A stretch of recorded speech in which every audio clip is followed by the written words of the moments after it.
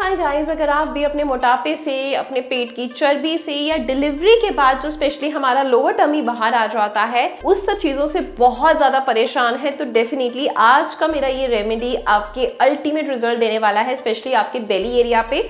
Overall body के fat को भी बहुत अच्छे से कट करेगा। कैसे सब चीज़ें प्रोसेस होंगी, बहुत लॉजिकली बताती हूँ। ध्यान से सुन लीजिए कॉपी पेन लेके नोट कर लीजिए। वीडियो तो ज़्यादा इंपॉर्टेंट है सेव कर लो और जमकर शेयर कर दो। सबसे चीज़ इंपॉर्टेंट क्या है इसमें? क्या है कि हम यूज़ कर रहे हैं तेज पत्ता? तेज पत्ता खड़े मसालों में घर में हम दाल सब्ज़ी में भी यूज़ करते हैं। बेसिकली ये क्या करता है? आपके डाइजेशन को बेहतर करता है। और जो आपकी बॉडी में अभी तक गंदगी जमा थी, उसको ये फ्लश आउट करता है यूरिन या फिर आपके दूसरे तरीके से आपकी बॉडी से उसको बाहर निकालता है। तो जितना भी वेस्ट है, वो बिल्कुल निकल जाएगा। आपकी बॉडी अंदर से बहुत ज़्यादा लाइट फील करेगी। डाइजेशन बेहतर होगा मेटाबॉलिज्म फास्ट होना बहुत बड़ी चीज़ है, क्योंकि आपने देखा है कि बहुत सारे लोग बहुत ज़्यादा खाना खाते हैं, फिर भी बहुत पतले होते हैं। लेकिन कई लोग दूसरी तरफ़ ये एग्ज़ाम्पल देते हैं कि मैं तो सिर्फ़ पानी पीती हूँ, मैं तो सिर्फ़ ये करती हूँ, फिर भी इतनी मोटी हूँ, क्योंकि उनका मेटाबॉलिज्म बहुत ज़्यादा स्लो होता है। लेकिन ये मेरी सीरीज़ स्टार्ट हो रही है 15 डेज़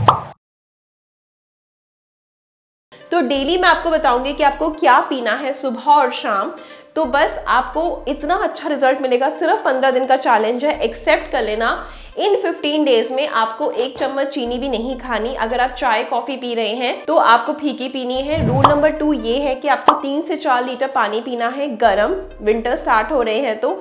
समर्स हैं तो मटके का पानी पीना है। टिप नंबर थ्री ये है कि आपने सात बजे तक डिनर कर लेना है। इसके बाद आपने डिनर नहीं करना। अगर आपके टाइमिंग्स फिर भी लेट के हैं तो आपने सिर्फ़ दाल और सब्ज़ी खाकर सो जाना है। मेक श्योर sure कि आपने रोटी और चावल बिल्कुल भी रात को नहीं खाने। और रूल नंबर फोर ये है कि जो भी आपकी डाइट है अभी तक, जैसे अगर आप तीन रोटी खाते थे तो आपने दिन में दो रोटी कर देनी है, दो खाते थे तो आपने एक कर देनी है और उस खाने को भी आपने बहुत अच्छे से चबा चबा कर खाना है। ठीक है, ये थे कुछ रूल्स इसके साथ साथ पैकेट बंद फ़ूड टेट्रा पैक्स जितने भी जूसेस आते हैं, कुछ नहीं पीना है, सब बर्बाद होता है बॉडी को बर्बाद करता है। फ्रूट खाना है उसकी जगह पे। चिप्स नहीं खाने, बाहर का कोई भी जंक फ़ूड नहीं खाना, ये हमारे रूल्स हैं जो इस रेमेडी के साथ वर्क करेंगे। 15 डेज़ का चैलेंज कौन कौन एक्सेप्ट करता है कमेंट बॉक्स में डन ज़रूर लिख देना। और पंद्रह दिन बाद मुझे अपने बिफोर एंड आफ्टर की पिक आप मेरे इंस्टाग्राम पे शेयर कर सकते हो। आए इशराम मेहरा। तो डेफिनेटली मैं चैनल पर ज़रूर रिलीज़ करूँगी कि आपका ट्रांसफॉर्मेशन क्या रहा। ठीक है, अब बढ़ते हैं अपनी वीडियो की तरफ़।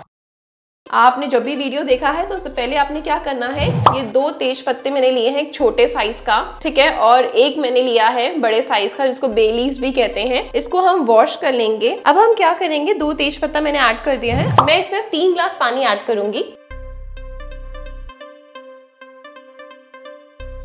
यहाँ पर आप देख सकते हैं, तीन ग्लास मैंने पानी ऐड कर दिया है। अब हमें करना क्या है? बेसिकली इसको गैस पर रखना है और हमें इसको इतना अच्छे से बॉईल करना है कि ये दो ग्लास रह जाए, ठीक है? जैसे ही दो ग्लास रह जाएगा अपने गैस का फ्लेम बंद कर देना है। जैसा कि आप मुझे देख पा रहे हैं, ये बहुत अच्छे से बॉइल हो चुका है, कम हो गया है पानी। अब गैस का फ्लेम बंद करने के बाद इसका पीने का सही तरीका और कैसे पीना है, कब कब पीना है, सब जान लेते हैं। अब आपने इसका एक ग्लास लेना है, चाय की तरह बिल्कुल गर्मा गर्म सिप सिप करके बैठ कर आराम से आपको उसको पीना है खाली पेट सुबह। अगर आप कोई भी दवाई लेते हैं अपनी किसी भी प्रॉब्लम की तो उसके आधे घंटे बाद आप ले लीजिए, या कुछ और भी पीना पसंद करते हैं, जैसे मुझे आंवला और एलोवेरा जूस पीने की बहुत ज़्यादा हैबिट है, क्योंकि रिज़ल्ट बहुत बेटर है उसके। तो मैं वो भी लेती हूँ तो सबसे पहले मैं क्या करूँगी, एक ग्लास ये पीती हूँ देन उसके एक घंटे बाद मैं उसको इनटेक करती हूँ। अब इसी का जो एक ग्लास बचा हुआ है, वो हमने खाना खाने के दो घंटे बाद और सोने से आधा घंटा पहले, यानी अगर आपने सेवन टू एट के बीच में डिनर कर लिया है तो आप इसको नाइन थर्टी तक ले लीजिए और टेन ओ तक या टेन थर्टी तक जो भी आपके टाइमिंग है टाइम से आप सो जाए। ये इतना बेहतरीन रिज़ल्ट देगा कि आप सोच नहीं सकते। हुँ? हम्म? अब सीरीज़ का जो नेक्स्ट पार्ट है, वो आएगा कल।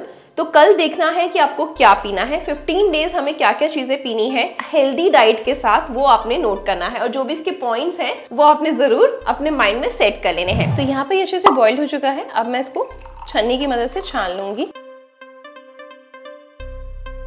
अब इसी पानी का जो बच रहा है एक गिलास, इसी को आपने रात में बहुत अच्छे से गर्म करना है, बिल्कुल अच्छे से बॉईल करना है और चाय की तरह सिप सिप करके पी लेना है। बिल्कुल नॉर्मल लगेगा टेस्ट में बहुत अच्छा है और अगर आप ये सोच के पियेंगे कि ये वेट लॉस बहुत अच्छे से करेगा, सच में आपकी इतनी भी ब्लॉटिंग हो जाती है ना, सूजन हो जाती है स्पेशली जब डिलीवरी होती है, उसके बाद आप इस पानी को ज़रूर इनटेक करें अल्टीमेट रिज़ल्ट मिलेंगे, क्योंकि जो थ्री मंथ्स का टाइम होता है सिजेरियन के बाद में वर्कआउट नहीं कर सकते तो डेफिनेटली मेरा फिफ्टीन डेज़ का चैलेंज एक्सेप्ट करना अल्टीमेट रिज़ल्ट मिलेगा आपको। तो आई होप कि आपको ये वीडियो बहुत ज़्यादा पसंद आया होगा। ऐसी कुछ नया देखना चाहते हैं तो हमेशा मेरी वीडियोस को फॉलो करें सब्सक्राइब करें चैनल को और साथ ही साथ वीडियो को लाइक करें शेयर करें और कल मेरा इंतज़ार करें। मैं मिलूँगी कल, लेकिन उससे पहले इंस्टाग्राम पे ज़रूर फॉलो कर लीजिए आए ईशा मेहरा मिलते हैं कल कुछ नई चीज़ों के साथ। Good luck